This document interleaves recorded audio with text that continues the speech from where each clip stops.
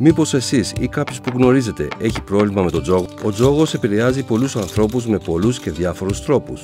Ο προβληματικός τζόγος επηρεάζει ολόκληρη τη ζωή του ατόμου και τις ζωές των ατόμων από το κοντινό του περιβάλλον. Τα σημάδια του προβληματικού τζόγου περιλαμβάνουν σημάδια σχετικά με τα χρήματα. Χρέη, πολλά δάνεια, απλήρωτοι λογαριασμοί, ειδοποιήσεις διακοπής σύνδεσης για παράδειγμα του ρεύματος, κρυφοί τραπεζικοί λογαριασμοί και πιστοτικές κάρτες. Προσωπικά σημάδια. Κακή διάθεση και ανεξήγητος θυμός, κατάθλιψη, αραιωμένες επαφές με φίλους και την οικογένεια, μυστικότητα σχετικά με τις δραστηριότητες. Σημάδια σχετιζόμενα με το χρόνο. Εξαφανίζεται για μεγάλα χρονικά διαστήματα για να παίξει τζόγο, δεν έχει χρόνο για τις καθημερινές του δραστηριότητες, κάνει κατάχρηση των αδειών ασθενείας και γενικά απουσιάζει από την εργασία του.